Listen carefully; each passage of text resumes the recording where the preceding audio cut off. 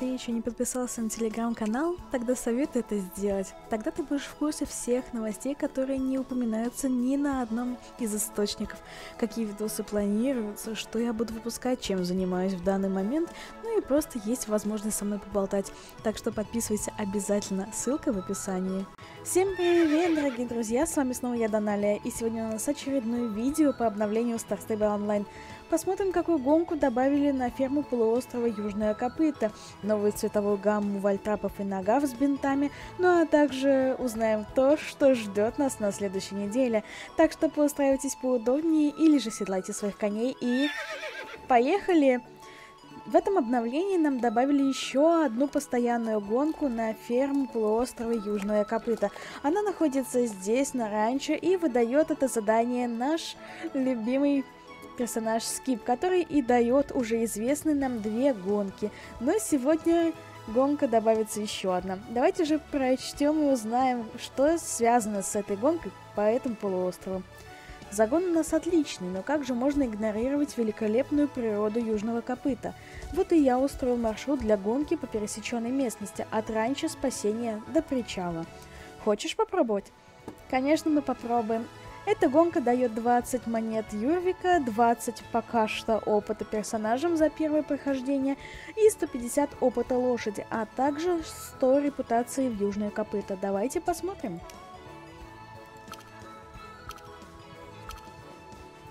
Именно для этой гонки нам и обновили порт Южного Копыта. Если вы этого еще не заметили, но можете посмотреть, советую отправиться на причал и увидеть, как теперь симпатично с маленьким, но при этом большим количеством деталей изображено форт Южного Копыта. Там действительно очень много симпатичных мелочей, которые мы посмотрим чуть попозже. Мало ли кто-то из вас еще не увидел маленького котика, ну и остальных обитателей форта. Гонка расположена вдоль всего южного копыта, это очень классно. Интересно, почему раньше таких гонок не было? Ведь на Южном Копыте очень много пересеченной всякой местности, также бревен, корней, камней, разных поворотов вокруг утесов. И это прекрасная возможность для очередного прокачивания лошадей. Ну, я редко бываю на Южном Копыте, однако теперь тут даже три скачки, а это ого-го сколько опыта.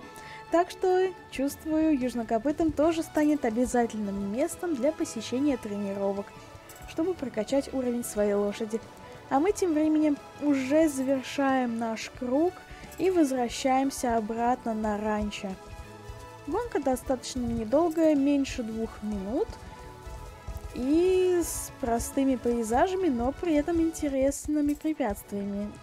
Главное в них не врезаться – и рассчитать повороты. Очень интересно. Так, это я... Так, да, финиш. Финиш у нас заканчивается прямо около скипа.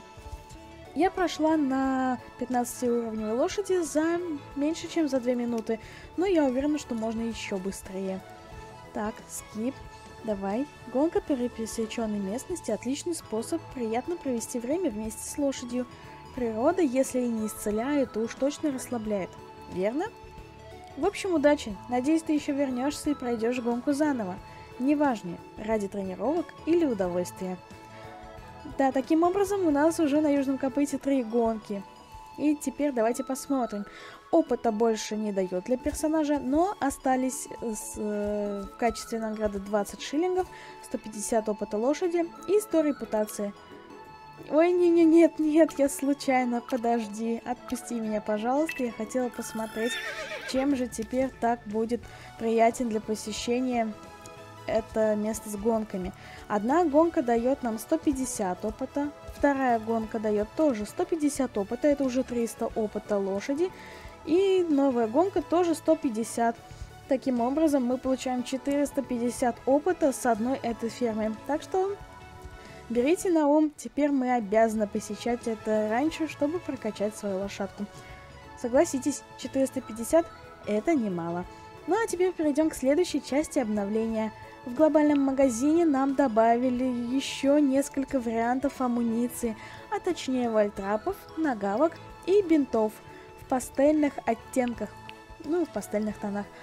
Хочу сказать, что оттенки действительно симпатичные, но, к сожалению, пока что их можно поносить не на каждой лошади.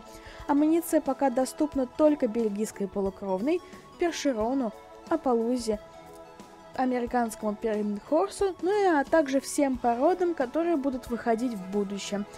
Так что пока что, если вы обожаете даже тех же самых новых пасофинов, фризов, ну и других новых лошадей, придется подождать неизвестно, когда эти одежи будут для них доступны. Ну а теперь самая классная новость, ребят, уже на следующий день, на следующий день, на следующей неделе нам будет доступно новое обновление, новое обновление нового года зимнее вместе со снегом. Как же звучит этот спойлер к следующей неделе? Снег кружится, летает, сметает. Ребят, мне нравится эта фраза. Я, я уже в предвкушении того, что там будет. Я надеюсь, что снега будет очень много. Так что готовимся, утепляемся. У меня вот, к примеру, уже весь мой зимний комплект, пожалуйста, вот он лежит э, в сумке. Я готова, утеплилась и уже жду не дождусь снега. А вы уже закупились одежкой, чтобы встретить эту зимнюю снежную обнову. Так что на этом все, и я с вами прощаюсь.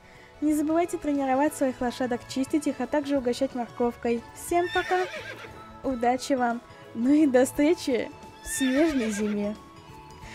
Ой, ну когда уже следующей неделе? Можно уже завтра следующее обновление? Ну, пожалуйста.